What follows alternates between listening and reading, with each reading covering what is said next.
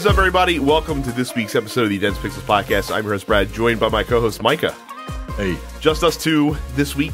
Um, normally we would be talking about Destiny Shadowkeep up front. We're saving that to later in the show. There's a lot to say. There's a lot of thoughts.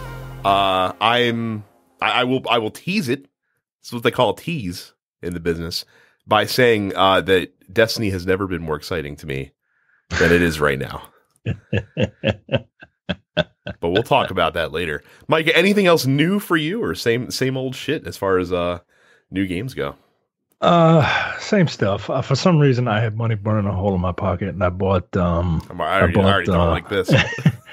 I bought Mark of the Ninja for my Switch because it was on sale for like fifteen dollars, and I really like that game.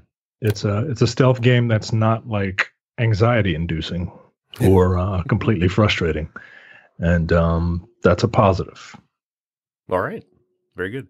Not a lot to say besides that though, so I'm not you may like it, but I don't know if it's uh if it's I gonna be mean, great for everybody you else. know, it's it's a, it's a stealth game, so it's what, would- what would It- you what would you liken it to? Isn't it like Tenchu, basically? Um, it's like a 2D. Uh, it's like a. uh, guess it's like a 2D Tenchu, um, but only in like the stealth sections are incredibly um, like the light and dark. The the light and dark sections of the game are incredibly uh, pronounced. So you go around and and when you're skulking around in the shadows, you can't see the entire screen. Mhm. You only see um, uh, your immediate like circle of vision, and then everything else is just kind of grayed out um, until you uh, until you enter into light, and then if you go back into darkness, then you are aware of your surroundings. Um, but it's one of those things where your character is just skulking around in different um, in different like crevices and stuff like that, and he is uh, paper thin. You know, two three bullets and you're done. Um, it's like a it's like a, a Metroid style stealth game, and um, it was it was fun. Fifteen bucks. It's fifteen bucks. It's it's it's fine. Very It's cool. fine. I'd like to play it, but uh right now my Switch is still the Slay the Spire uh machine, so I have I have 35 hours invested in that game so far. It's a lot, it's a lot of spire, spire slaying. It's very, very good though. Um, so new releases for you guys this week. Actually, a slower week uh, compared to what we've been getting the past few. Concrete Genie comes to PlayStation 4. This looks like the latest, uh, like indie darling PlayStation game. Like their first party studios always have really cool indie titles. So this looks like the next Oh, one from them. All right, I'm Yeah. aware of this. Uh, the Alliance Alive HD remaster comes to PlayStation 4. Trine 4 comes to PS4, Xbox One, and Switch. And the Switch, at least, I'm not sure about the other consoles, also has a four pack for $50 that you can get all four Trine games with. That's not too terribly bad. They're still making Trine games. Yeah, man. They're they're good. They're popular. So Uh, I guess I I played the first Trine. I I- I don't like the whole physics aspect of it, mm, and that's that's the hook of the game, right? Like you have three different characters that uh, that do three different things, and everything is physics based. And um, nah, I'm I'm good. I liked it well enough, it's just, but not enough to play through. I, I think I played through half of one and part of two, and that's been the extent of my time with Trine. Yeah. Uh, Yooka-Laylee and the Impossible Lair. This is a new Yooka-Laylee game, but this is actually a 2D side scroller uh, done in that uh, in that fashion for PS4, Xbox One, and Switch. We'll have to see if Carrie plans on picking up this one because I know that she got the original uh, when it came out a couple years ago.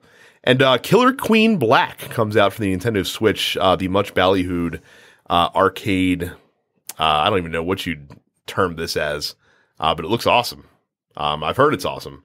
So might be looking into that one at some point as well. It's only 30 bucks also on the Switch. So It doesn't have anything to do with the band Queen. no, it does not have to do with the band or the song Killer Queen. Uh, that's a no for me, dog.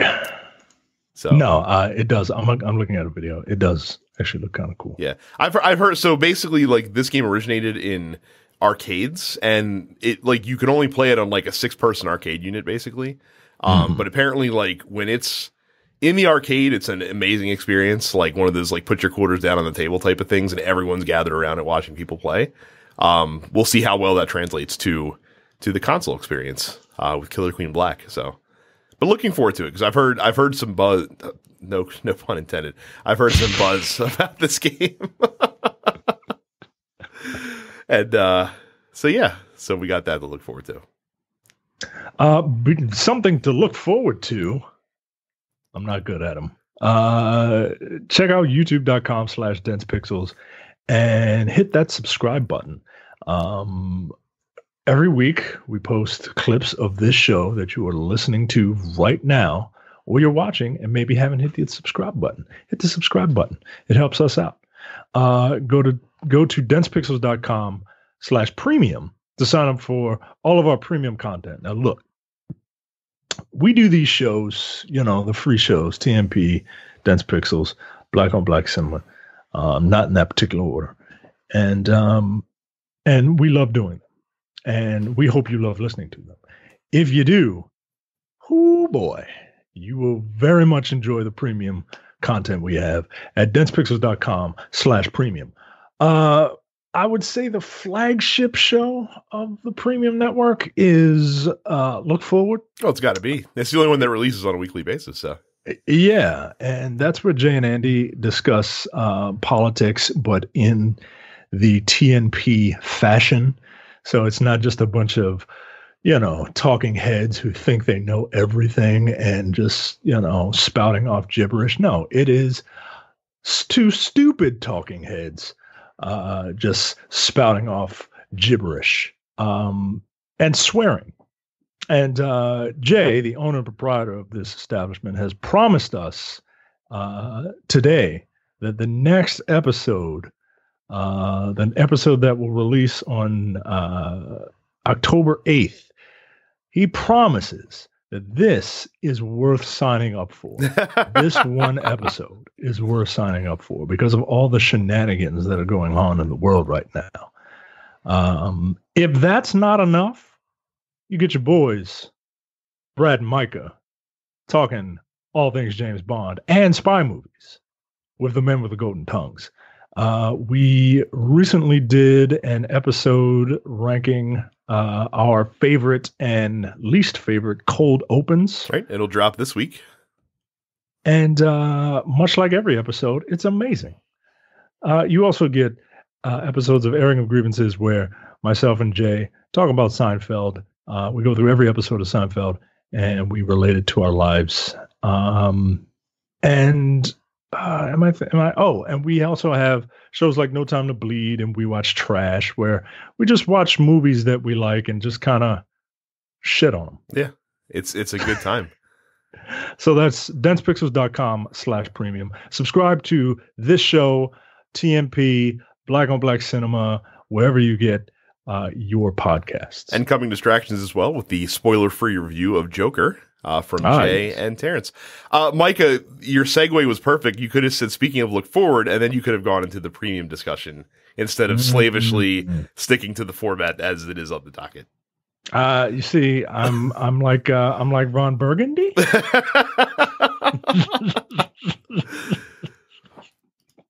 so, moving on to the news of the week, it is a very PlayStation centric week here. Um, so the the thing, so the thing that drove me nuts last week is while we were recording the show, a huge news announcement happened uh, that we couldn't comment on. So you had to wait a whole week, where now the story is ice cold, uh, but still quite mysterious. So suddenly last week, uh, a tweet came out from PlayStation Worldwide Studios that said, "quote." It is with great emotion that we announce the Worldwide Studios chairman, Shawn Layden, will be, be departing Sony Interactive Entertainment. His visionary leadership will be greatly missed. We wish him success. We sorry, we wish him success in future endeavors and are deeply grateful for his years of service. Thanks for everything, Shawn. That is literally the only information that we have gotten about the president of Sony's Worldwide Studios leaving with no preamble, no pretense, no prediction, no nothing. Shawn Layden, who was with PlayStation for 29 years, has left Sony. Sony's been quiet. He's been quiet. Sony hasn't even issued a formal press release on this. They love issuing press releases. they release press releases for everything. So we are left to baselessly speculate as to the reason that Shawn Layden uh, is no longer with Sony. First of all, I of course am heartbroken. I was upset when when my dad left. Uh, this new stepdad came in. It took me a couple years to warm up to him, but eventually I did. And then he left too. No one stays in my life, Micah. I can't keep I can't keep a video game father figure around to save my life. Now, the most interesting speculation I heard about this news is that he and uh, PlayStation Europe uh, studio head Jim Ryan uh, have been kind of butting heads recently and have been not really on the same page recently as far as like their philosophy for the future of PlayStation. And it's supposed that Sony Interactive Entertainment kind of sides or has is more in line with Jim Ryan's vision of the future as opposed to Shawn Layden's. And so perhaps Shawn Layden saw not, not necessarily the writing on the wall, but he you know found it this was a good time to step aside. It's just bizarre that he's leaving a year before new consoles are coming out. Yeah, that's that's that was that was my thing is that um you know, this is when like coups happen, right? Right. Like is Microsoft going to come in and just do a perform a hostile takeover of Sony? um I'm being silly, but um yeah, you wouldn't this is this is very odd the fact that not the fact that the guy is leaving, but just the the circumstances upon his upon his departure. You got the new console coming out. You got no no um, fanfare of of this guy leaving. He was he was the face of the brand for a while, and um, yeah, I don't know. It's just it's bizarre. Like I hope it's I hope it's something like you know this guy and this other guy just didn't get along, Mm-hmm. and nothing like you know this guy likes to have sex with children. Well, I, I don't think Sony would have, if that was the case, I don't think Sony would have even sent it. Like, it, you would have had a much Yeah, more nothing- tersely nothing- worded statement on Twitter if that was the case, I think. Yeah, nothing. I don't think it was anything nefarious, but uh, it's just it's very odd. I'm I'm a very negative person. I like to think the worst of people, especially when they leave. Um, they leave because the guy's only like 58. Like he's not even 60 yet, and this is I don't know. It's just very odd. It's very odd. I'm very curious. Uh, and wonder what the real reason is. Well, I suppose we'll find out eventually, but I just find it bizarre that in, in the whole week since this news dropped, we have heard literally nothing from nobody. And it's and apparently it's not like Shawn Layden isn't on Twitter. Like he's like liking tweets Yeah. and stuff He- like he- that. Yeah. he just retweeted something four days ago. Right. So it's like it's not like he's AWOL. Like he just is staying silent. That makes me wonder if he's going to a competitor possibly. But that would also be that would also not make a lot of sense either because I would imagine that in his contract he has he has some sort of like non-compete where he's barred from being able to go to a direct competitor for, you know, a fairly lengthy period of time. It's usually 6 months is kind of the standard um in most industries. Mhm. So maybe he'll just be quiet for six months until until he just uh, shows up at Stadia or something like that. You know I mean? right, right. So just very very interesting news. Of course, it had to happen while we were recording last week. That was that was the theme of the TNP Studios uh, podcast network last week. Is major news happening late after, after you know while during or, or right after you know recording an episode of something. Because I had to get on a special episode of Look Forward two weeks ago for the same same uh, reason. So fucking yeah, wild, man. yeah. The universe hates us. Yeah.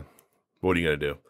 Uh, PlayStation Now uh, is down to just nine ninety nine a month. So we've railed on this show quite a bit about how PlayStation Now at twenty dollars a month is way too expensive, especially in the wake of Microsoft's uh, game Xbox Game Pass coming out and kind of being a very popular, especially in the wake of Gears of War uh, Five being a major, major. Uh, not I'm not going to call it a major seller, but a highly played game thanks to thanks to Game Pass. Uh, perhaps on the heels of that, because they saw that success, or maybe this was in the works for a while, uh, you can now get PlayStation Now for for just ten dollars a month or sixty dollars for the entire year.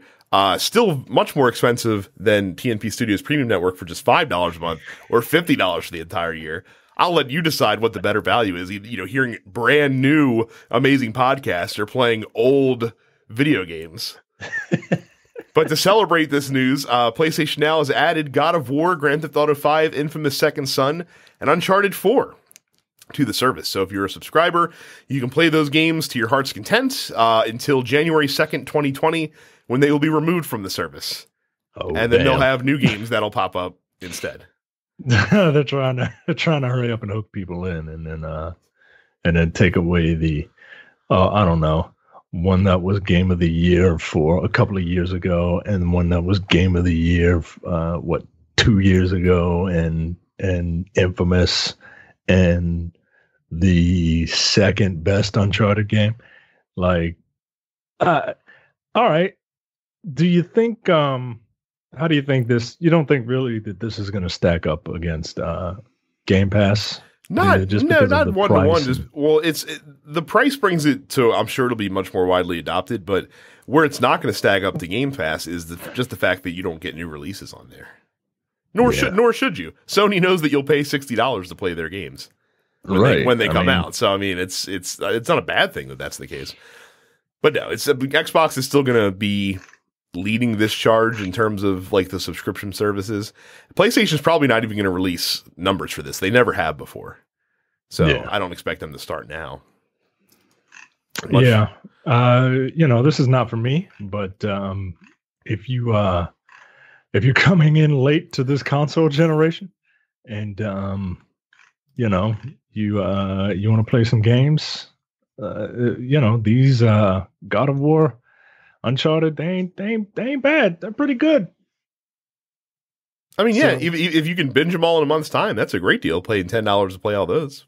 Yeah. So So Um, the most surprising news of last week came in a random press release that dropped from Sony that said Sony's crossplay, or actually, no, they didn't even make a press release. The news just dropped. Sony's crossplay function for PlayStation 4 has now completed its beta phase and is a full feature for developers to make use of. What does that mean? Does that hmm. mean that every game is going to be crossplay that wants to be now? That's what it sounds like. That is what it sounds like. But the fact of the matter is, Sony hasn't said a lot about this. Huh.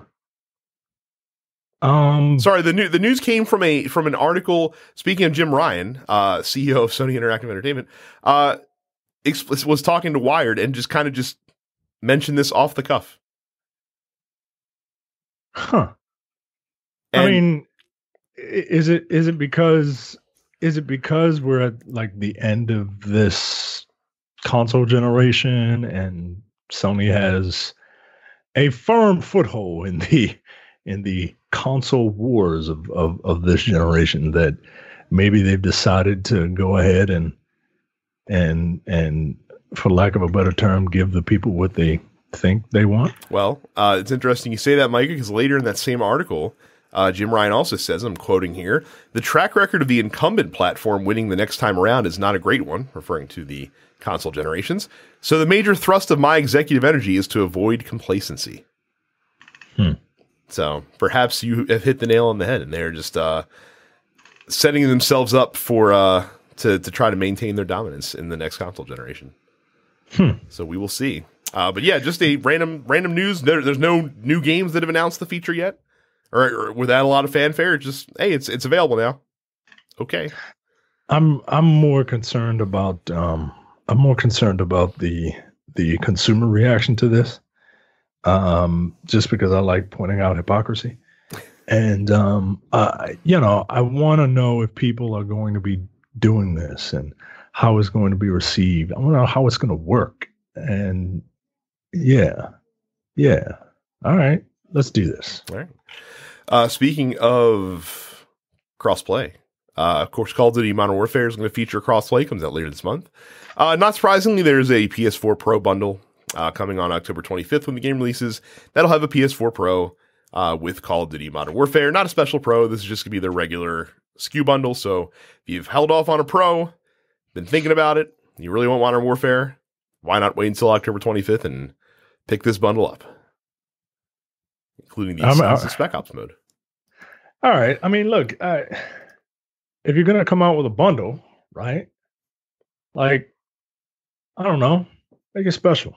I mean, they're doing that two weeks after that with the Death Stranding bundle. As much as I don't really care for that game, like, yeah, like make it make it special. Like, there's uh, there's got to be some lunatic out there not named Micah that that that uh, collects consoles, right?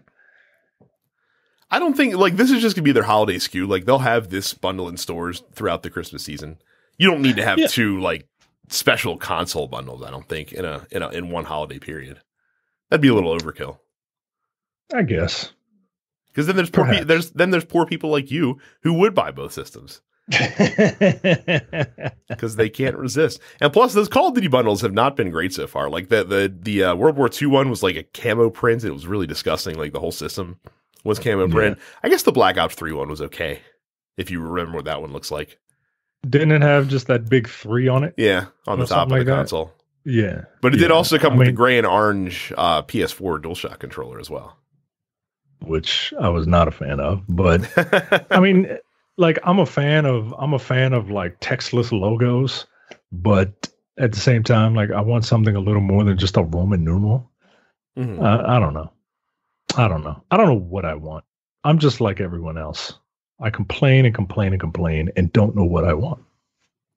So to wrap up the uh, the news here on PlayStation News Central this week, uh, PlayStation uh, for software update 7.00 is coming that week. It's going to have some new features in, in it, uh, mostly around parties and remote play. So currently. Uh, doing party chat on PlayStation 4. You can have eight people. That's going to go up to 16. Uh, there's also going to be chat transcription available for players in the US. You have to use the PlayStation second screen app on your phone in order to to use that feature.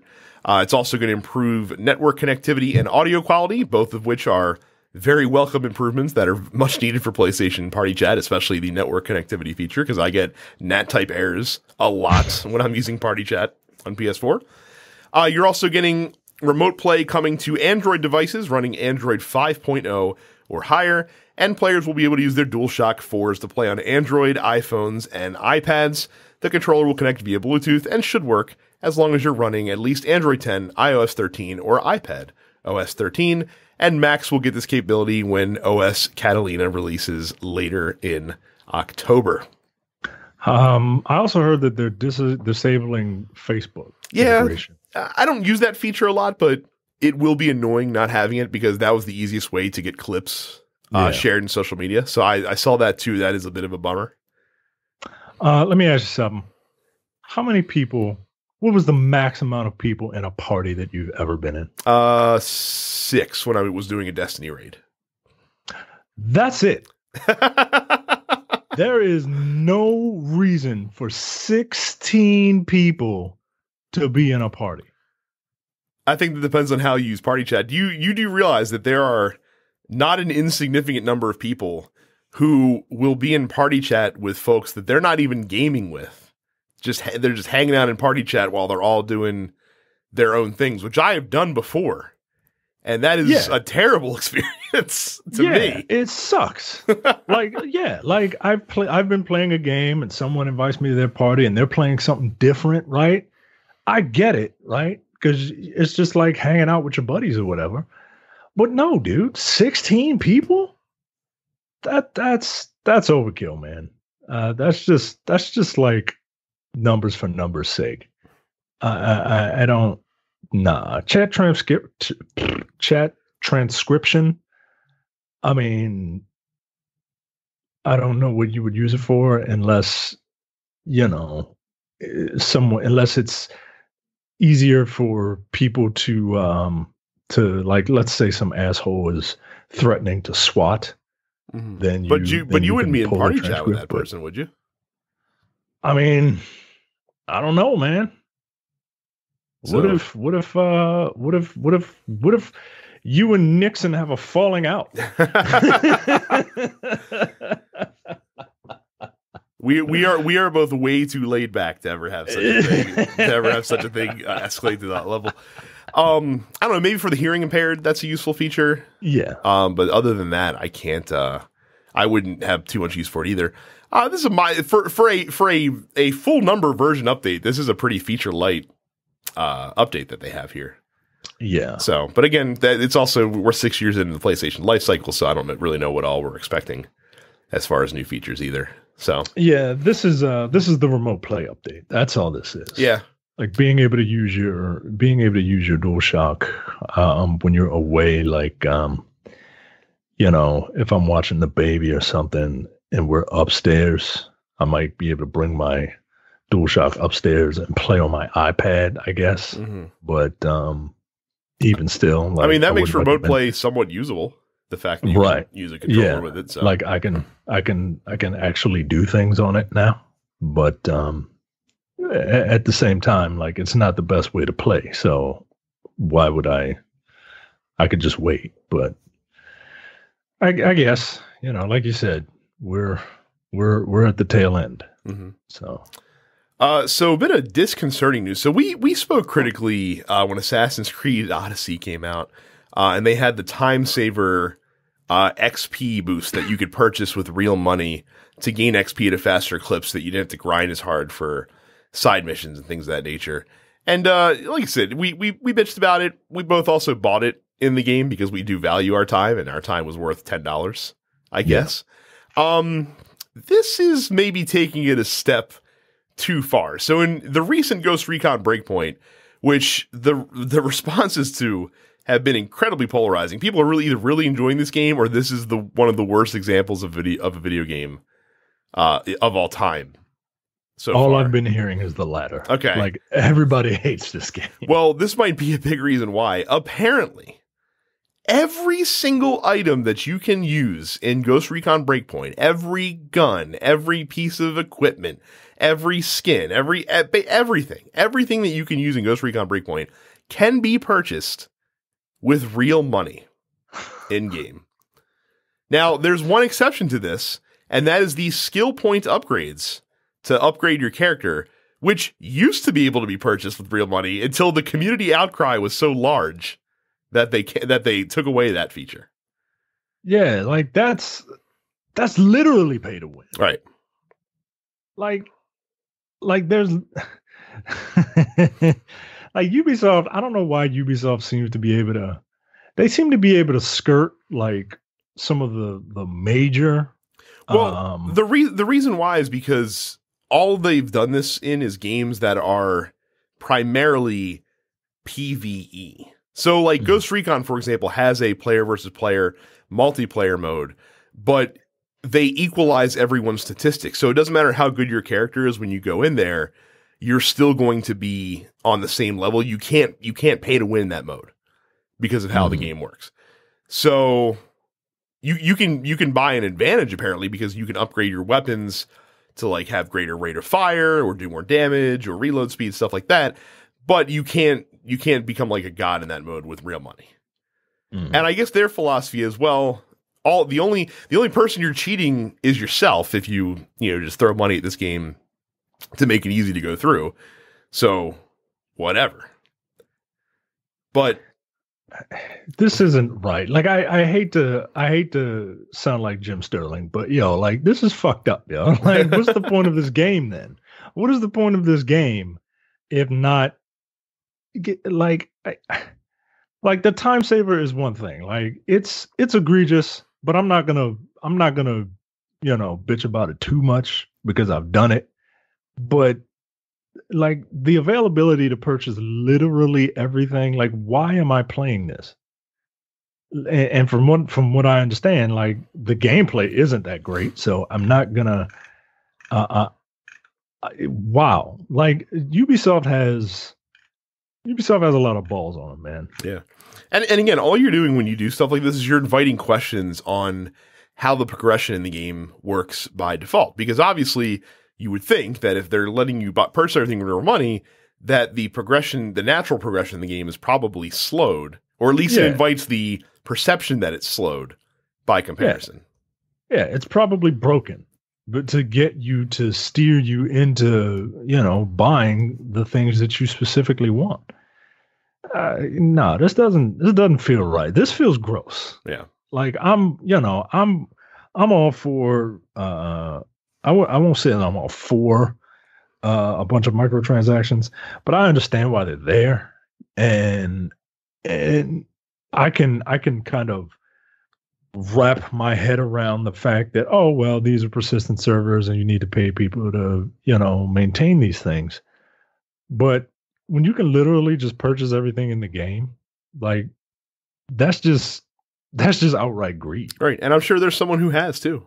That's that's that's the that's the more disconcerting part to me is that there is someone that's probably taken advantage of these features and probably Yeah. spent who knows how many hundreds of dollars you would have to I'm spend in order to curious. purchase Uh, everything. How much is how much is everything in Ghost Recon Breakpoint? I don't know. I, I didn't I didn't see that reported in the article um, that we linked. So who the fuck knows? But yeah, Shay.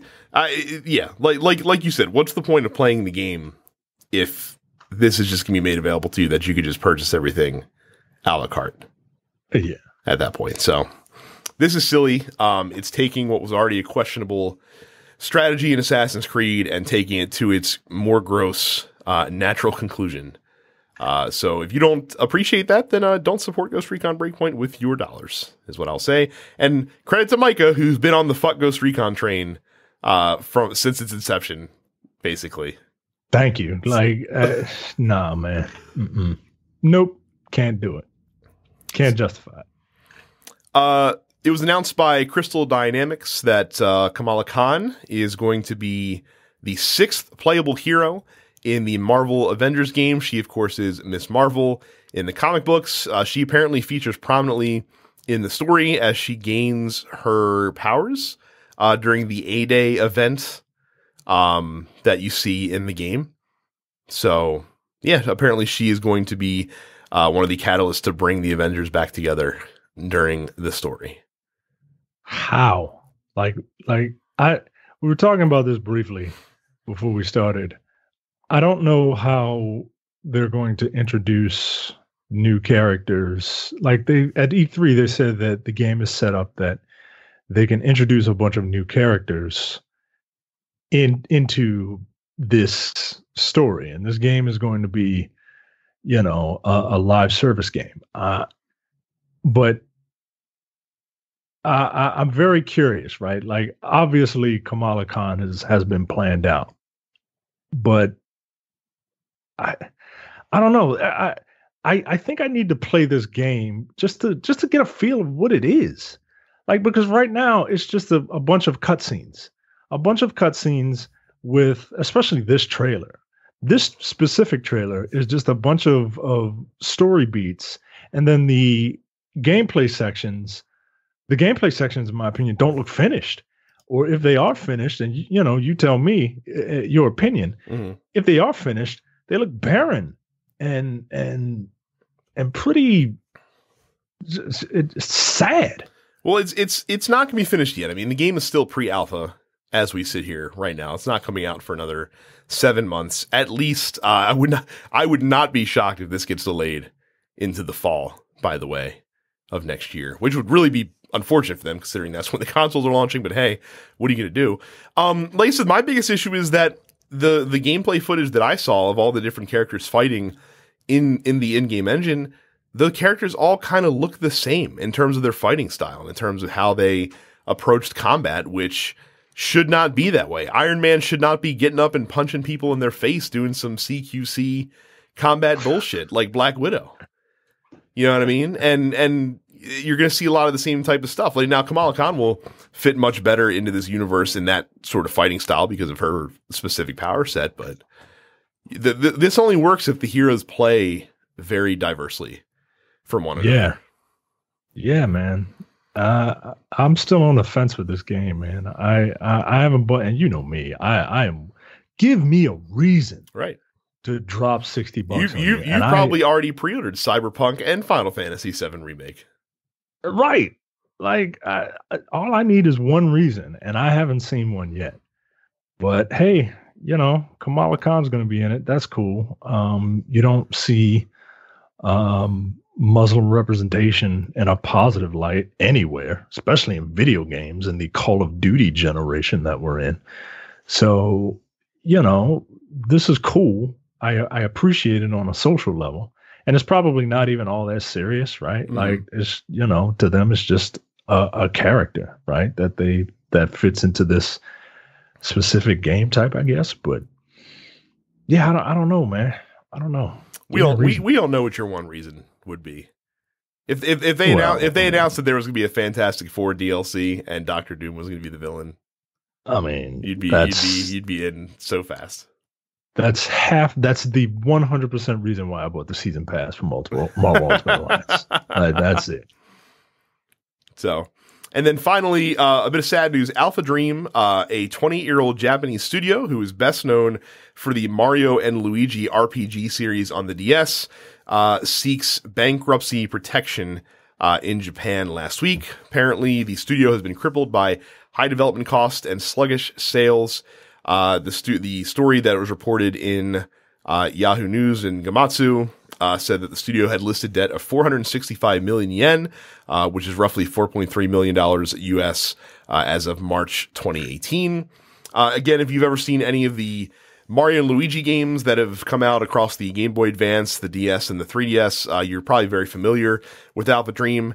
not surprised because I know those games didn't have a huge commercial appeal. Um, but it's still sad. You know, you never like to see any game studio uh, closing up shop. So. Yeah. Yeah, that sucks, man. Um, I hope those people, uh, I wish nothing but the best for those people. Been out of a job before, uh, and it is not fun. So hope those people land on their feet. That's it. Have you ever uh, have you ever played the Mario and Luigi RPG games? I've, for some reason, it never it it it never hit with me. Like, I, it, I, didn't, didn't hit with me either. I played uh, the only one that I've ever played was Superstar Saga, which came out on the Game Boy Advance, and uh, mm-hmm. I played very little of it because, like you said, it just never never connected with me in the same way. It felt it felt it, it was it was like, it was like easy mode for RPGs basically, and the gameplay yeah. and story wasn't compelling enough to keep me playing despite the lack of challenge. So, yeah. Okay. Well, there you go. Um, look, people, we know you shop. Everyone does. We need you to go to densepixels.com slash Amazon for all your shopping needs. I do it. Brad does it. Everybody does it. It's like drugs. It's cool and everybody does it. go to www.densepixels.com slash Amazon for all your Amazon purchases. Um, don't pick the super saver shipping. Like the reason you go to Amazon is because the reason you have one click buy is because it's one less step because you're impatient, just like me, and you want your stuff as soon as possible. Pay for the extra ship. No, I won't say that because I don't think that goes to our. I don't think that helps us. Get the two day shipping. If you got Prime, which you probably do, is free get the two day shipping. make that make that lazy old man get up off his ass and hoof it. Make him run a mile so that you can get your stuff on time. It's all about you. You're the consumer.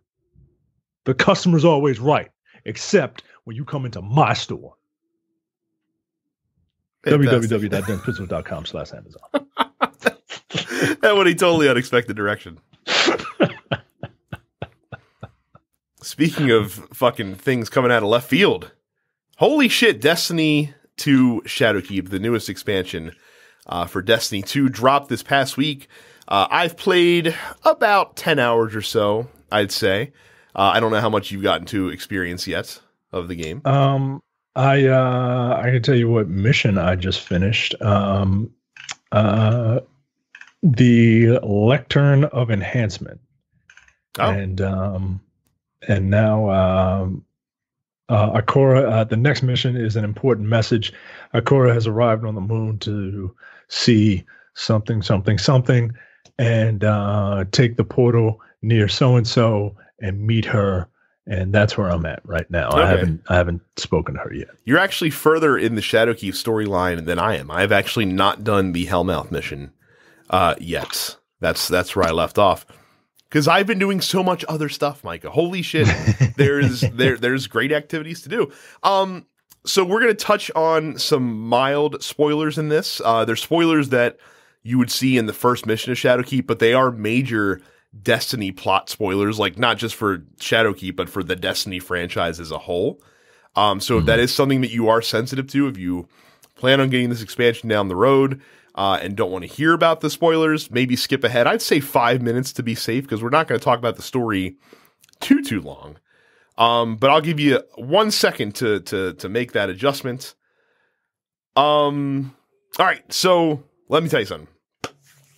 As someone who is into the Destiny lore, Mhm. when you are walking into that cavern and you turn that corner, where by the way, Bungie disables your sprint feature. I, I was walking anyway, so I didn't know it, but apparently they turn off your sprint when you're turning when you're turning into this corner because they want you to see what it is you see. And you round that corner, and one of the fucking pyramid ships is sitting there. I was like, "Oh my god!" Like I was like screaming, like in in into no one in particular in front of me that that was that that is what you came across. That's such a huge. It, and again, if you don't, if you're not into Destiny, if you haven't been playing the game, you might not understand how big of a fucking moment that that is to to see these things that have been just heard of and not really seen, may, only seen for two seconds at the end of the Destiny 2 uh, post credit stinger, basically Yeah. when you beat the game. Um, to see one of these things in person, the the truest representation of the darkness, and to realize that they that that has it's been on the moon the whole time. Like like it didn't just get there; it's been there. So like it it frames the everything that happened on the moon, not only in this game but also in Destiny One.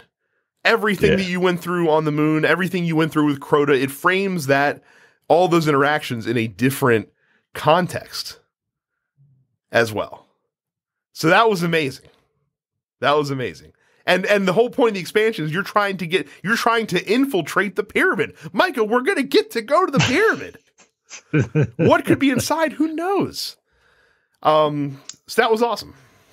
let me um so I, I you know i'm not as much into the lore of destiny as you are but um i do like the hive as villains and um yeah this is like they make the hive really scary man like like a lot of these missions are just dark and they do a lot of they've they've really come a long way with their presentation Mhm. uh, in their storytelling. Um, and and the moments that they want to invoke, they do a very good job, especially for it being a video game, like with with with um, cinematography and stuff like that. Because it's very difficult. Because with a video game, you know, I'm looking at everything. Wow, wow. But no, they they do a very good job of drawing your your your eye to the thing they want you to look at, and they do a very good job of making things feel epic, or or not, just conveying the mood that they want. And there's one section in here where where it's like I gotta grab this key, and the key is right there in front of my face, sitting on a pedestal. There's a light there, and I'm like, and the and Ghost is like, "There's the key. Now let's get it." I thought, and then and then leave, right? And and of course, it's like, all right, well, I've seen this before, so you go up and It's it's Uh, it's literally course. it's literally Raiders of the Lost Ark. right right and and you know you can't get it. And then there's this fight and then you you get it and you're supposed to leave and you're like and someone is trying uh, someone is supposed to get you out of there. And it's like hey where you at? Why aren't you saying anything? And all of a sudden enemies are coming and this music swells and and it's like ghosts is like yo we gotta run out of here. Like we can't rely on this person right now. We gotta get the hell out of here. And it's tense man and it's it's exhilarating. And this is this is really good man. Like like don't sleep on on destiny's lore and storytelling like if you get into it like it's they do a very very good job Yeah, it's like I said, that that that one moment just up front. I and I'm I'm looking and I've heard that this that the story for this expansion does end rather abruptly. Um, and that there's a reason for that is because so basically the story ends from what I understand where the Black Garden raid that just released um this past weekend begins. And then the Black Garden has launched these Vex invasions that are on the moon. And then once you deal with the Vex invasions, you can go do the Vex offensives in the Black Garden, which is the new like big activity for this season. Um, which I got to do for the first time today. And it's it's similar to the menagerie or just like an extended version of a strike in terms of what you're doing. You do have some more mechanics that you might not find in a strike, like that you have some, you know, very, very light raid-esque mechanics that are mm. in this. And then that'll lead to the dungeon that they're releasing at the end of the month uh, with in the season of the Undying. So basically, they're they're having these events that are all interconnected, and then something that happens at the end of this season of the Undying will lead into how the story progresses in the next season that they're doing. And so, like now, I think they have a little bit more freedom to kind of freewheel a little bit and kind of do what they want to do. And yeah. and and part of that is the story, and and this is a great start um, from where they are. And again, you're going back to a familiar destination. Um, it's you know e- even just going into the Temple of Crota is still incredibly like unnerving for me because it always was uh, in in the original Destiny as well. So kudos there. Uh, great job. Um, as far as the other stuff to do, like I said, we talked about Vex Offensive. I did one earlier today. Um, it was a it was a pretty good amount of fun. Have you done these yet, Mike? Because they just unlocked with the unlocking of the raid this weekend. I haven't done. Is that the one where you pick it straight from the map, or is that the one where the Vex just pop up? So the one the ones where Vex pops up, those are Vex invasions. Those are kind of like public events in a way. Yeah. Um, the Vex offensive, you have to do a couple of the invasions first before you can get access to the offensive. But that's the one where you you pick it from the map. Okay, I haven't done that yet. I don't have access to that yet. Okay, yeah, you have to visit Ikora oh. first to get a quest, and then you have to kill a bunch of Vex, and then then you get to do it basically. Okay. All right. All right. Well, I'm going to do that when we get off because I enjoy I enjoy those. Is it like uh the thing that was on Mars and um it's and, it's uh, much closer to the menagerie, I would say, because okay. because basically like it, it alternates between these like you have to clear out Vex basically, and then oracles pop up, so you have to get the Vex heads that shoot the beams to kill those. And then once you do that a couple times, then there's a big a gate lord that you have to fight. But the Gate Lord has an unbreakable shield. Well, how do you break the shield? You have to use the fucking the Vex heads, and you have to kill specific Vex to get those, and use that to drop his shields. But it's a six player match made activity, so it's it's still pretty fun to do. It's much more similar to Menagerie, and you get a similar amount of loot for the Menagerie. Like running the Vex offensive once today, I got like four legendary drops, and all four of them were new the new weapons that are part of this new season of the Undying. So it's not a public event, and and but it does have matchmaking. Yes, yeah, you can go in by yourself, and you'll get matched with other players, and you guys have you can... done it. Have you done it with randos, or have you yeah. done it with people you know? No, the one time I did it was with randos, and it was fine. Okay, so all right, I so there's a like I haven't been in Destiny in a in in a while, mm-hmm. right? Like like first thing I did was hop into Gambit, right? Because I I enjoy like I didn't even do Gambit Prime the last time I, I was on. I, I I didn't do it. I I did regular Gambit this time, and I didn't even know that if there's a one to one tie. Oh yeah, round three is just boss, just boss fight basically. Yeah. Oh, thank God. uh, because Gambit Gambit can be very very long. Um, I I I correct me if I'm wrong. You can do nightfalls um match made nightfalls only now? only the only the ordeal nightfall. That's the only one that you can do which is a rotating nightfall um that you can play in multiple difficulties. Like if you do the nightfall playlist that still is no matchmaking but the ordeal nightfall and and you can only do the ordeal at the two lower power levels. So you could do it at 750 and you could do it i think it was at 820 is the other power level. Okay. um but if you do the 920 or 980 version um that you can't you have to have a fire team to go into that one Okay. But yeah, they All made right. they made match made Nightfalls for the first time ever, which is awesome. Uh, yeah. which is fantastic. Um, so uh, I played a couple of strikes. It felt so it felt so good to play a strike that I've never seen before. Uh, I can't remember. I played a couple. I can't remember what they were. Um, uh, I played one of the new ones for the story, hmm um, which was very fun. Um, yeah, and Destiny. It, it took a minute for the muscle memory to come back. You know, because I'm, I, I forgot that melee was was a trigger button uh, or shoulder button. yeah, uh, let me tell you, coming, coming coming from Borderlands three, the first the first day that I was playing Shadowkeep, I felt like I was running through mud because of the frame rate being locked at thirty instead of pushing sixty, and just Destiny is just a slower playing game than Borderlands is. Like everything is just a shade slower. Your movement speed's a little bit slower. Your reloads are a little bit slower. like it just it just is not quite as smooth uh, as Borderlands is. Do you have? um Did you get the um the season pass or whatever? Oh, of course. Well, so if you bought if you buy Shadowkeep, if you just buy the thirty-five dollars Shadowkeep expansion, uh, you do get Season of the Undying as part of that. That is the first season in this new year of Destiny. If you buy the deluxe Shadowkeep, uh, that also includes the annual pass, which gets you all four seasons uh, that are going to happen over this next twelve months. I, of course, bought the deluxe version because I know I'm going to buy all the seasons, so you might as well save five dollars. I I did as well. So you have Eriana's Vow. Mm-hmm. I do. Holy shit, man! Yeah. Like, is that like like I was talking to a friend of mine. He was like, "Did you did you get that hand cannon sniper rifle?" And I'm like, "Oh, that's why that thing is so powerful." Yeah. Because I'm like, "Yo, I know You they can- didn't just, if just you uh if Oh. you run a warlock and you run empowering rift in crucible you can one bomb people with that gun Yo, come on, man. that thing is amazing. Like, and I'm not, I'm not a sure shot, right? Like, I'm not good with hand cannons, but yo, that thing, I, I just wanted to, I, I wanted to, uh, uh, get into hand cannons because I was like, yo, this can't be all hand cannons. All hand cannons can't. no be no this this powerful. this is the only like range hand cannon that uh that's in the game right now i'm sure there'll be more later though Christ.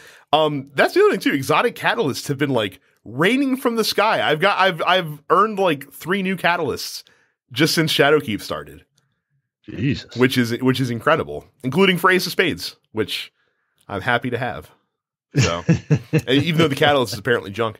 Um, I haven't do- dove into the Armor 2.0 season or into the Armor 2.0 feature yet because I just got my Hunter um, to 900 power, so I didn't. I wasn't. I wasn't worried about any mods or anything like that in the in the lead up to 900. Um, so now that I'm there, I might start fiddling with Armor 2.0 a little bit as well. Um, but have, just having the seasonal artifact that's a new feature as well is once you get have you gotten the artifact yet yes, I have, uh, I have the artifact. okay so yeah just To the backside. what a cool feature too like giving your xp something much more tangible to go to lets you unlock unique mods that are unique to that season only. Like those mods like you don't have those mods when the season's over. They're just going to go away. But you need them for some of the things that happen.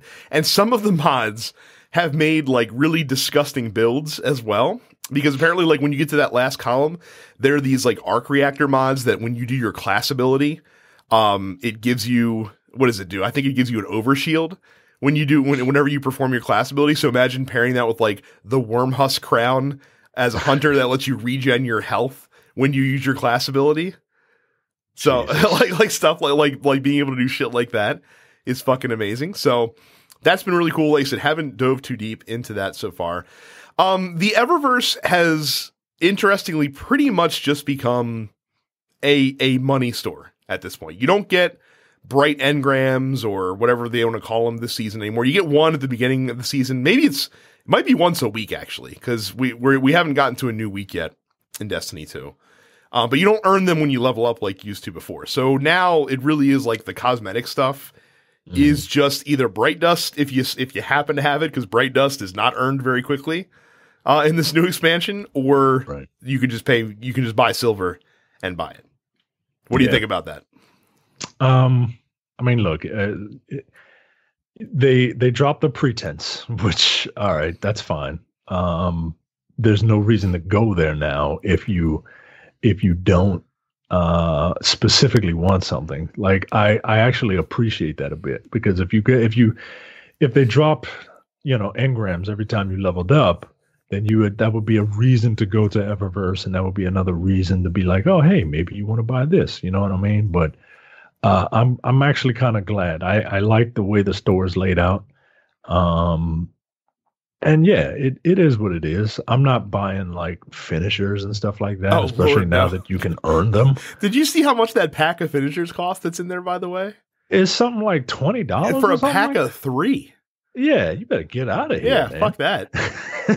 uh, I actually, I, I I like the finishers. Like, I don't think to use them half the time, but apparently the finishers get good when you get mods that benefit you from using them. Apparently, like there, like there's mods that you can get. Like when you perform a finisher, you lose like ten percent of your super, but you get a guaranteed heavy brick that drops, like that kind of thing. okay. So, or like there's one that like I think like if you do your finisher, like all your weapons reload, which is pretty nice as well as far as the No. feature goes. Now, someone told me, I, you know, I don't, I don't know this for certain because I haven't done too much Crucible. But uh, can you not do finishers in Crucible? No, no, you can't. You can't do finisher Southern Guardians. Could you imagine? Yo, why would you? like, why would you want to though? Why would you want to? Uh, to show off. Yeah, but that would just leave you open to get shot by his team, by the dude's teammate. Hey, hey, hey! If if if you're running lone wolf, that that's that's your penance. Don't run lone wolf anymore. no, nobody would use those if it was if it was in Crucible. I, I'm, I'm I'm fine with it. But uh, I'm glad you brought it up. Um, the changes to Crucible so far have been excellent. So in in the in the what was formerly known as Quick Play, so now they either have you they have a specific Clash playlist, they have a specific Control playlist, or you can go with what's called Classic Mix, which rotates between Clash Control and Supremacy. Um, it's six v six still. They brought back the Destiny One uh, thing where you can act, you can share heavy. So like if your teammate picks heavy, like it's available for you to pick a lesser heavy brick as well for a couple seconds afterwards. So multiple people on the team can get heavy at a time, which is fucking nice instead of heavy being like the thing that swings the match Yeah. constantly. And it comes up more frequently too. That's the other that's the other big benefit as well. Uh holy shit comp. Holy shit comp is fucking I don't know what to say, Micah. 3v3 survival only. 3v3 survival only. No more countdown.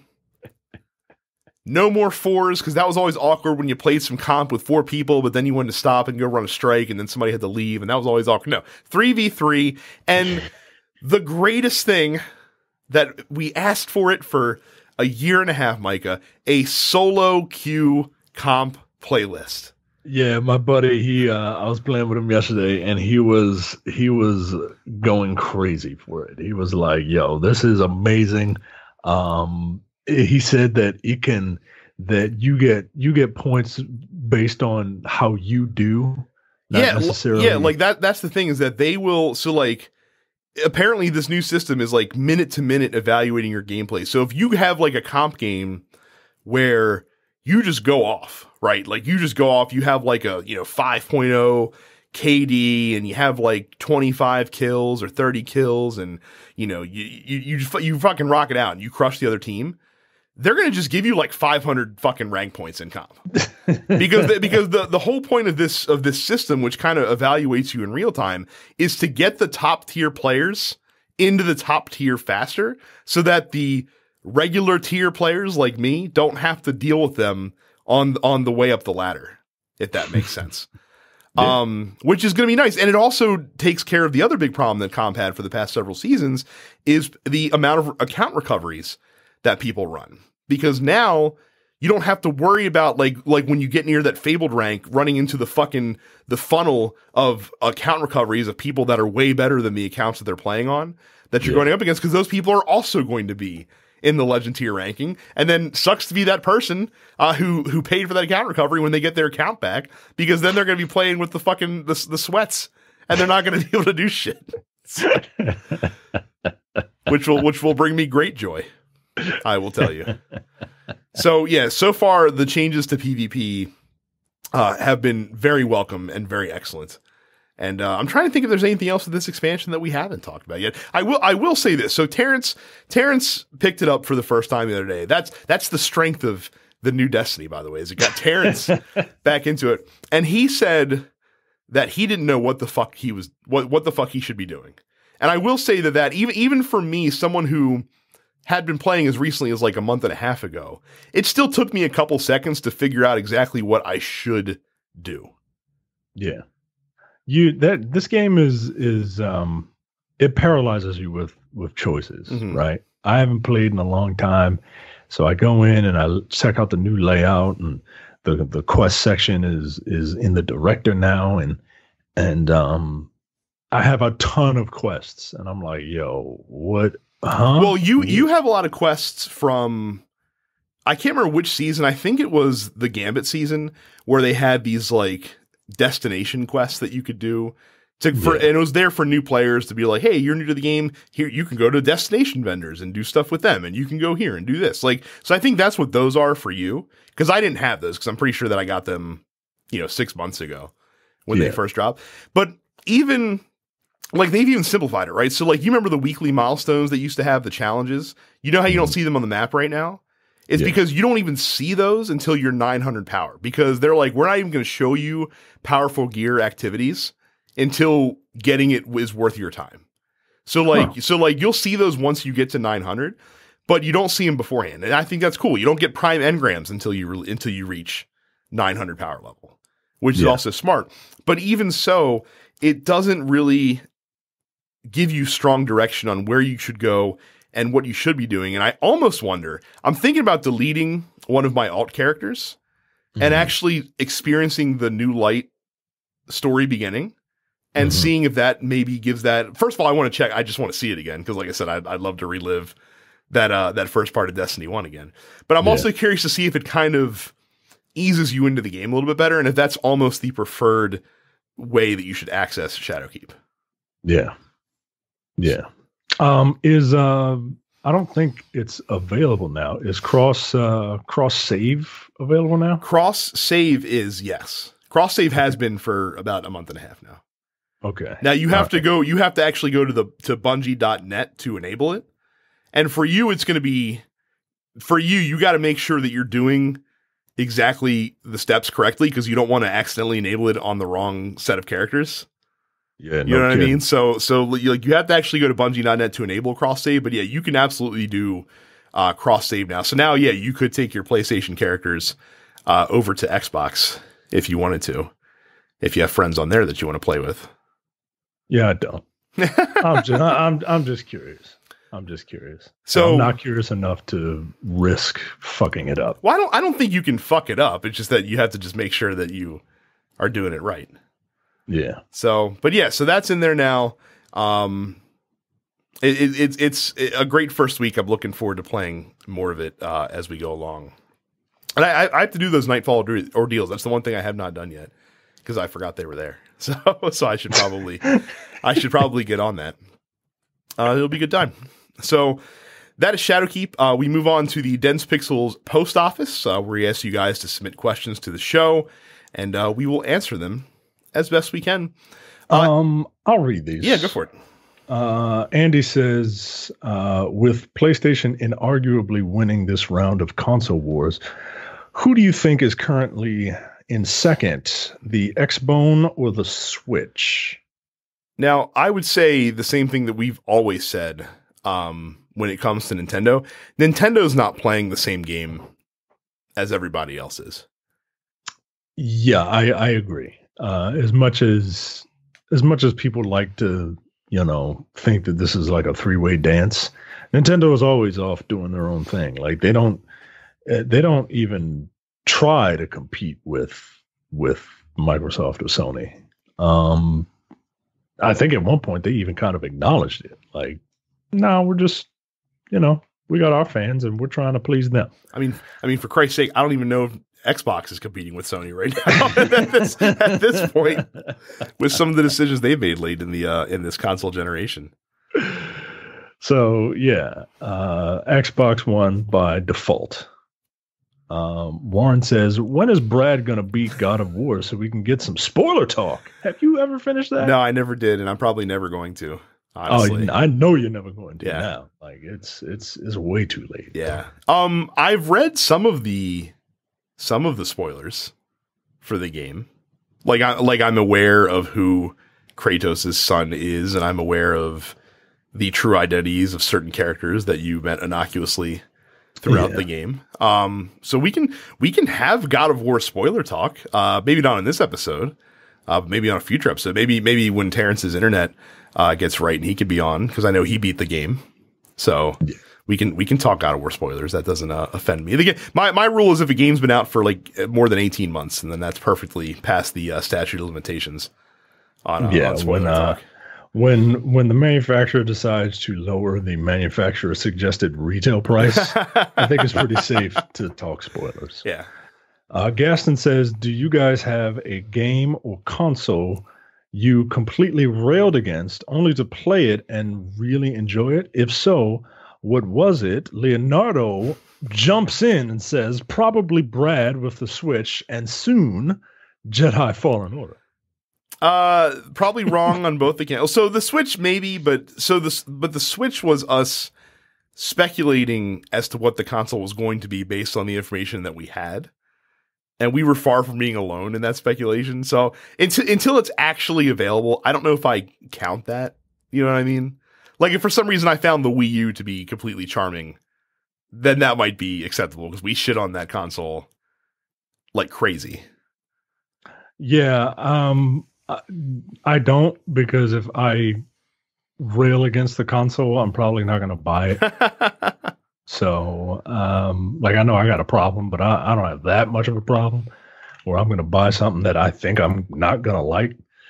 I'm trying to think if Um, there's anything that I really that I really came out strong against that uh that I end up that I end up liking at the end of the day. But like you said, Same like like if you hate it, games, right, if you hate it that much, you're probably not gonna even give it a shot to be able to say yeah. that it's uh Yeah. that it's that it's actually good. Terrence is the type of person that will be obstinate f- for no damn reason, only to come back and buy some and buy something and be like, oh, or play something and be like, oh, all right, this was pretty good. Actually, you know Like- what? Destiny might be that game. Like the first Destiny, it was I wasn't like vehemently against it. Um, I had more apathy towards it because I played the alpha and it didn't do anything for me. Um, yeah, you really didn't get into Destiny One, did you? not until Rise of Iron came out. Because and I also remember you guys like every week kind of talking about like, nah, you really don't need to. Like, ah, it's not that great. Like, ah, like, and for a while there, it was uh, it was not really. You guys weren't really hyping it up, so I was like, okay, this is fine. I don't need to. I don't need to worry about this game. And then I, what was it about Rise of Iron? I think that when uh, I think that it was just the lead up to it. Like that was one of the. weirdly enough, that was one of those uh, games or expansions rather where the marketing really worked on me. Um, Yeah. it looked really cool. Like the trailer that they had for Rise of Iron looked neat, and I was like, wow, there's a lot of crazy shit going on in Destiny. Maybe I should give it another shot. And I sat because I owned the game, like because I got it for free. Um, but I just never sat down and played it. So I remember when Rise of Iron was coming out. Um, I think I downloaded the game the like the when when was it? Probably like a month or two before, and started playing. Uh, started playing through the regular Destiny content and got really Mhm. into it. So Mhm. maybe that's the one. Um, if it is going to happen, it'll be with No Man's Sky. and and until someone uh, gifts me that game, I'm not going to play it. part of me one Uh, part of me might do it just to get you to play it, just to see just to see if that uh if that turns you. Or not. Now that Anthony now that I know now that I know you'll play it as long as you don't have to pay for it. Uh, yeah. Well, now that it now one now that it's a game, I will play it if I don't have to pay for it. I can't pay for it now because I've I've this is me being Terrence. Like, nope. I said I said it, and that's it. Foot down. Anthony says, "What's the next big game release uh, you are excited for?" And then links uh, um, uh, to some upcoming uh, release dates. Um, You know, I'm still a little excited about the Outer Worlds. Uh, I'm not like losing sleep over it. Um, I'm not losing sleep over Jedi Fallen Order. Uh, I am getting it, but I'm not. I'm not like, yo, I gotta play this. Uh, I'm getting it because I need a game to play in November. Um, Pokemon. I'm getting Pokemon. I'm getting Need for Speed. Um, I don't think there's anything else that's like that's like got me super excited until Cyberpunk. Oh, for me, for me, it's Death Stranding. that's that's that's the next game that I'm super excited for. no, I'm absolutely fucking kidding. Um, it's for it. So it's for me. It's probably is Cyberpunk 2077.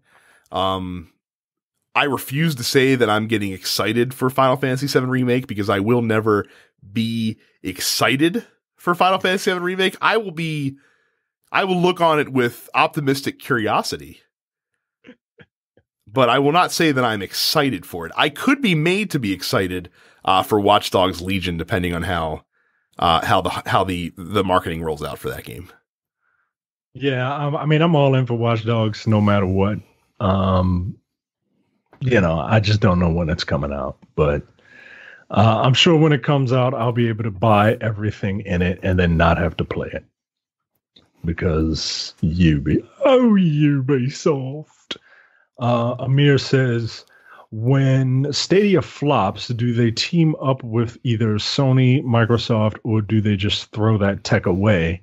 I feel like it'll be Sony since Microsoft already has their xCloud. I mean, Sony uh-huh. already has Gaikai or whatever, you know, whatever streaming service they're using as well. It's not like that they're playing with an empty deck. Um, yeah, that's awful presumptuous to think Stadia will flop. I don't think it's going to be a mega success, but I don't think it's going to flop either. Um, you don't think it's going to be a mega success, but like like we all agree it's going to work, right? right? It's going to work, but will people gravitate towards it? Like Google Glass worked, but Google Glass was never meant to be like no matter how much people think it was, Google Glass was never meant to be or or at least it wasn't geared to be a consumer facing product. Hmm. Like it was more it was more of a not an IT product, but like a like almost like a development platform of sorts. Um and that's kind of Google's way too, by the way. Like if this doesn't work, they'll keep the tech, they'll stop the service, and then they'll just license it out to other people that want to use it. Um, yeah. but yeah, I, I, don't think it's going to flop, and I also don't think it's going to become like the industry standard um, within six months.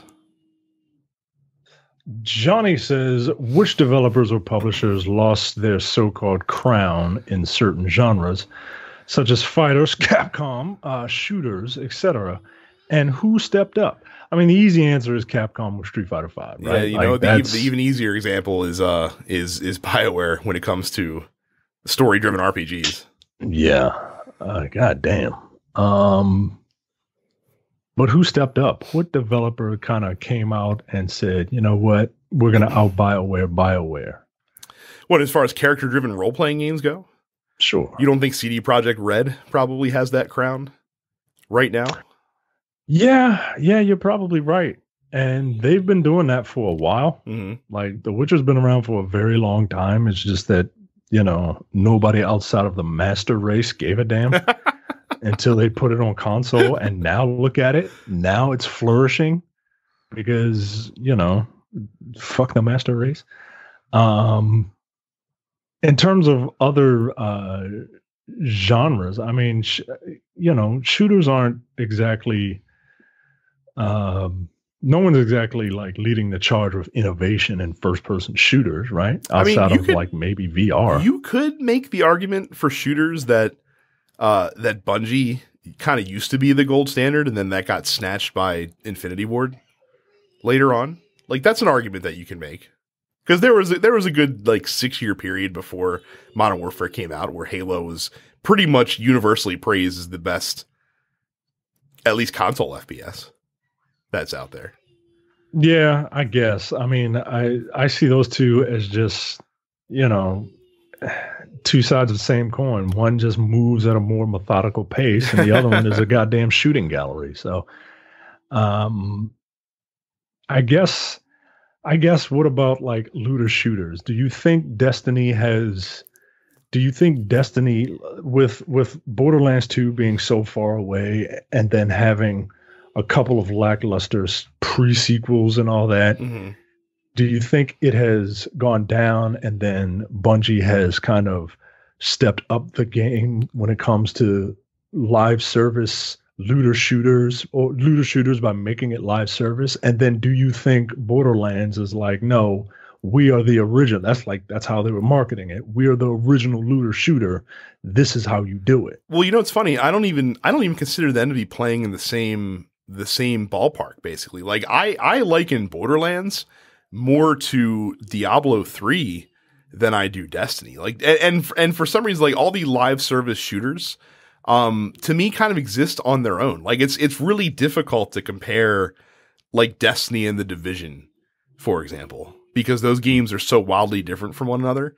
Um, and and and almost with those games, it's it's almost like you got to kind of be part of the club to really understand it. Like the people that really love Destiny, the vast majority of those people are people that have loved Destiny for multiple years now at this mm-hmm. point, and they're not going to change. It's not you're not going to pull in a whole lot of diehards, uh, even with this new light um, free to play version. I don't think like you might get several, you know, maybe even like 100, 200,000 more, you know, consistent players that are that come back month after month for you, but it's not going to be a ton, I don't think, right?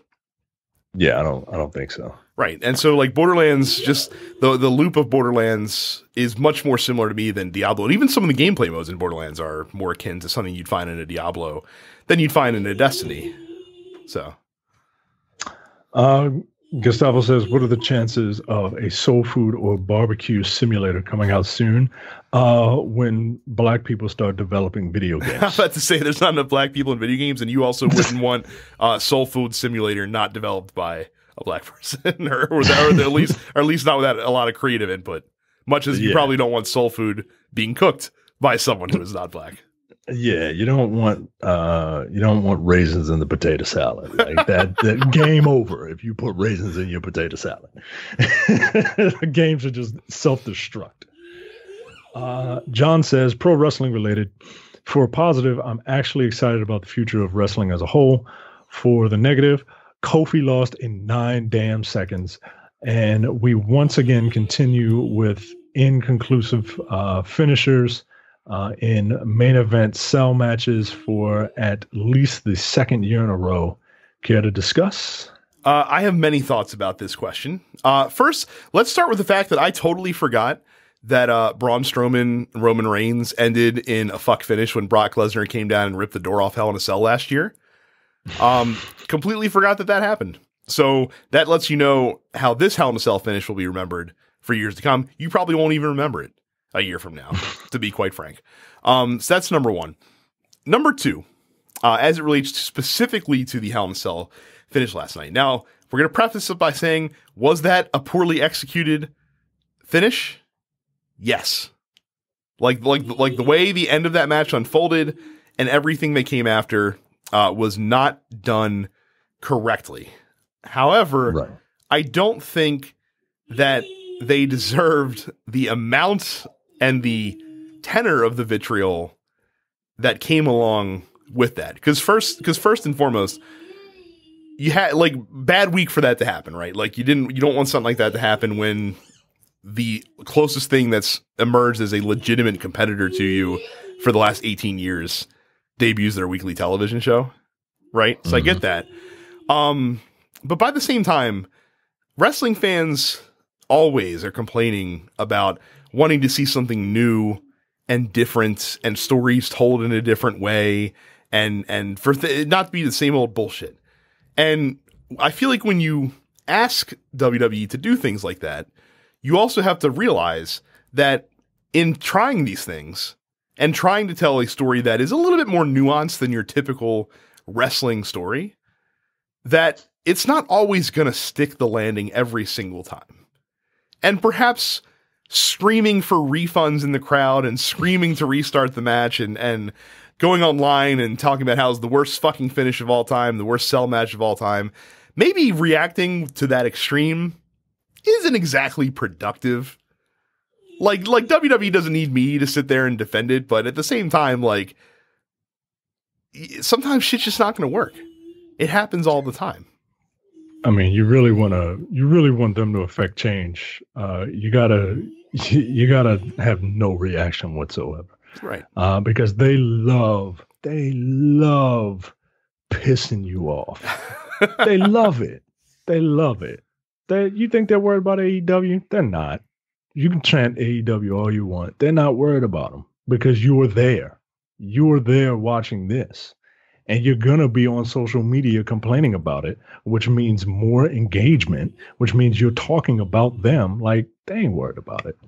Um, look, that finish, I, I, I knew Seth Rollins was keeping the title. Right, I knew that he was. I figured he was too, but how they got there, like, like ha- Yeah, having having the fucking referee stoppage, like you could have told the same story by having Seth Rollins pin Bray Wyatt in that situation, and then still had still kind of unfolded the rest of the match or the, the post match shenanigans in the same way that you did.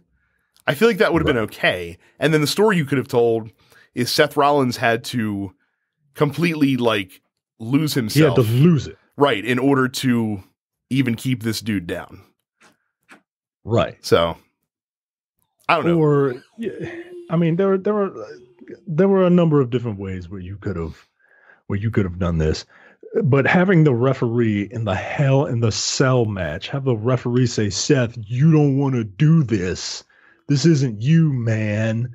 As the as the ring is is blood red from the lighting and the and the cage, like it doesn't that's what pisses me off not the fact that seth rollins won not the fact that the fiend who has been on television twice has in in matches twice didn't automatically win this title that didn't surprise me the fact that i'm that that they're telling the story in a stupid way Mm. is what offends me But again, they have, they have room to recover from this too. By the way, this was the beginning of this story, not the end of it.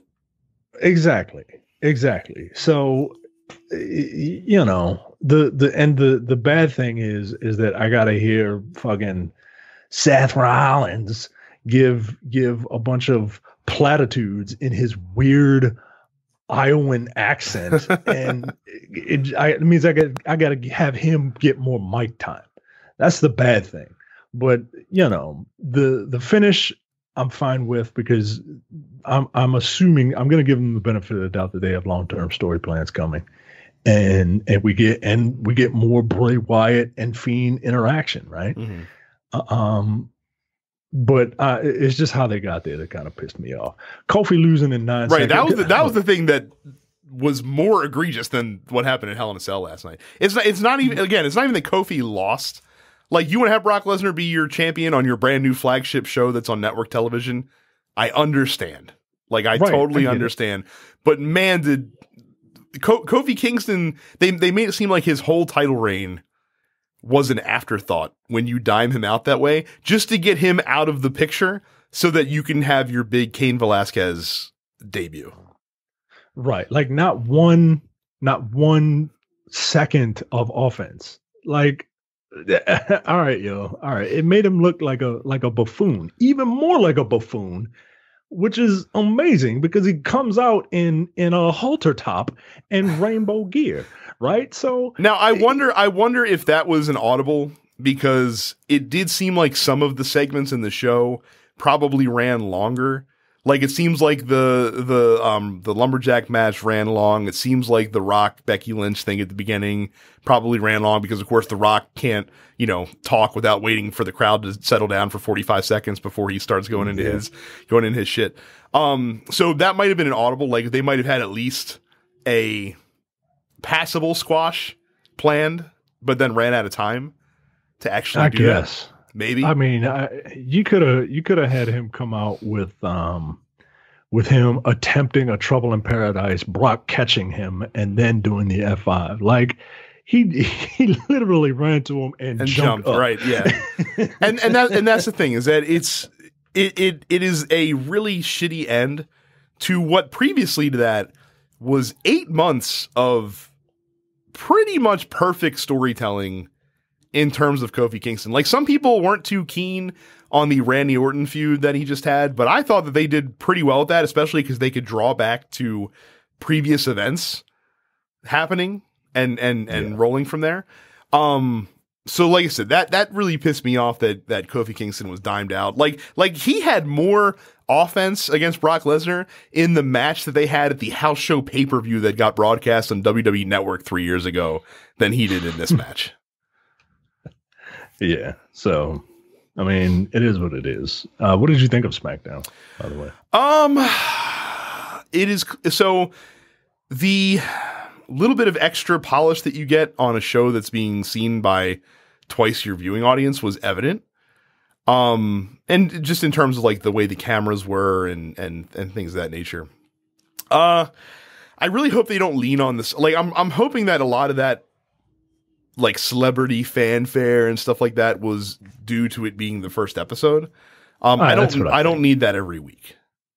Yeah. Um, I don't need uh, Tyson Fury is that gentleman's name, who's the lineal, which I still don't know what the fuck that means. Uh, lineal boxing champion. Uh, I don't like. He's gonna have a program with Braun Strowman. Uh, Braun Strowman's gonna get dimed out to him probably because that's what they do when they bring in celebrities. Um, I will say this about Cain Velasquez: at least he's been wrestling in other uh, Yeah. organizations, so he should not be a train wreck when he uh when he fights Brock Lesnar at the Saudi Blood Money show. Yeah. All right. Uh, um, yeah, I, I, I enjoyed SmackDown. I thought it was good. Uh, I'm wondering how they're going to keep that up because that felt to me like this is 100%. Let's fucking, let's, let's, let's go for the gusto. Let's, let's, let's knock it out. Let's fire on all cylinders. And they went to Los Angeles. Like, what, what happens when they go to, you know, Davenport? You know, you know what I mean? well, I mean, they'll keep it going for the next week because they have the draft uh, happening over the next week and a half. So Yeah, yeah. So um we'll see. And uh you didn't watch any AD, AEW, did you? no, I recorded it, but I haven't. I, I didn't hear enough buzz from the show to make me go back and actually go back and actually watch it. I just have a like like certain things that I heard that I hear about that they're doing. I just have a general distaste for. Nowadays, like when I hear about Jon Moxley, like DDT and Kenny Omega through a glass table, I'm just like, even it's probably gimmick table, but still, I mean, like that's that feels like that that feels like product of a bygone era. To be, It feels like it feels like WCW. Right. it really does. It feels like it not just because it's on TNT and not just because they have Tony Schiavone and and, and but it, it it you know the black ring, the black robes. It's on TNT. Tony Schiavone, the the weird like haze that's in the building. Like it feels like WCW. Well, But, and, and um, again, like like the other thing, the other thing that bothers me, and this is not AEW's fault. This is more uh, my conflict with modern day wrestling fans nowadays. I'm gonna need you to stop freaking out with excitement about people that you couldn't give two shits about if, if you fell on them when they were in WWE. You're telling me you care about Jack Swagger now that he's in fucking AEW? Really? You're gonna be excited because fucking Jack Swagger showed up on AEW. That was the big way that they closed the show is by Jack Swagger. And you're like, oh my god, Jack Swagger! Like you couldn't give a shit about that dude when he was in WWE. You didn't give two shits. You you bitched and moaned when he won the when the when he won the world title. But now you care because he was in AEW because he because he's not in WWE anymore and he wrestled in two MMA matches. So now now he's way more credible and we care about him much more than we did. Uh, Whatever. well, yeah, hey man, wrestling fans are gonna wrestle fan. You know what I mean? yeah, I know. Um, Like I said, it's one thing for John for you to care about Jon Moxley because he was a he was a, a made dude in. WWE. Yeah, Like, he was he was a world champion. Well, I guess technically Jack Swagger was a world champion also, but Yeah. but uh, right. I mean, he was, but was he? um, Leonardo says he couldn't think of a way to insert uh, Jedi Fallen Order into a question this week, so he posts a meme, um, a Star Wars meme that uh, I will not that I do not know, but I will know once uh, once the Clone Wars uh, TV show comes on Disney Plus.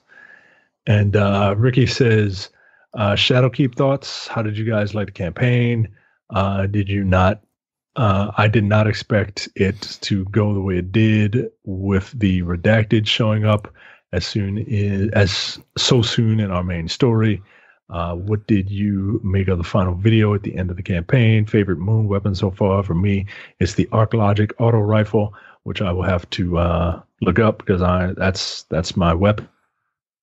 Yeah, I uh, I actually haven't got any of the moon weapons yet. All I have so far uh, is just the Black Garden weapons. Um, Um, we uh we spoke about it, um, and we haven't finished the campaign yet, so can't talk about it. But um, I'm enjoying it.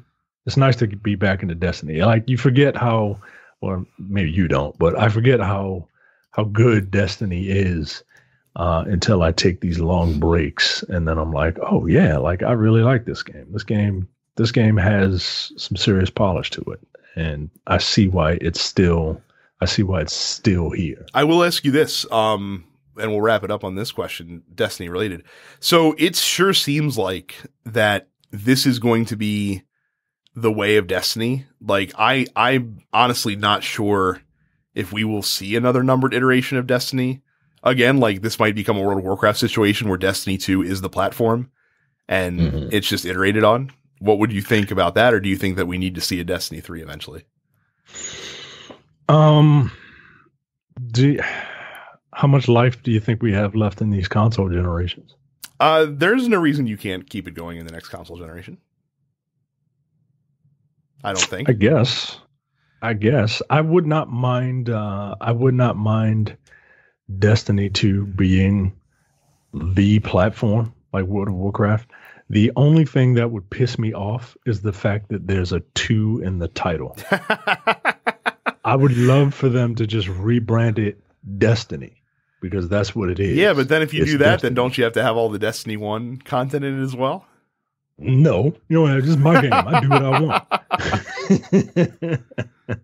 um, no, I'd be fine with it because it's a game that um, that I can I can pick up and come back and play. Like I I didn't understand the the World of Warcraft thing um, until something like this came along. Mm-hmm. In a in a genre that I can wrap my head around with characters that I enjoy. Um, yeah, if this is a platform then I'm I'm fine with it. At at this point, I almost just don't want the clean slate again. Like I'm like I'm so heavily invested into what I have in Destiny 2. Um, yeah, that it would be weird coming going back to nothing essentially. Yeah, going back to square one. Like like they did a pretty decent job of of trashing all your shit in the beginning of Destiny 2. Like, hey, all that stuff you worked hard for, yeah, they blew it up. So you got to start over. They blew it up, including your level progress. So you got to start over again. but um, yeah, I'm I'm fine with it because that was the big thing with Destiny One to Destiny Two. People are like, "Oh, what about my Guardian?" Like, well, you can keep your the look of your Guardian. Yeah, everything else can uh, can stay on that Destiny One over there. So okay. So uh, that is it for this week's episode. Thank you guys very much for watching and listening. Of course, if you'd like to ask us questions when we post the post office, you can do that in our fan group on Facebook, densepixels.com slash fans. Make sure you subscribe or join there rather, and you can engage in the discussions that we have every day uh, with our listeners. Uh, make sure you follow us on social media at densepixels. Again, no matter what podcatching app you use, make sure you subscribe to us the Nerdpocalypse, Black on Black Cinema, and Coming Distractions. And go over on youtube.com slash densepixels. Click the subscribe button there as well. Uh, of course, if you use Twitch, uh, you can find me at densepixels Brad, Terrence is Apparition 410. Uh, Carrie is Suffits Carrie. And uh, I also use our YouTube channel to stream as well, seldomly. Uh, but when I do stream, it's often done on youtube.com slash densepixels. So that's it for us this week. Again, thank you guys for listening to us talk, and we will talk to you later. See ya. You're watching the Dense Pixels YouTube channel. Click the subscribe button while you're here and make sure you check out our weekly podcast where we discuss the latest gaming news and our impressions on what games we've been playing.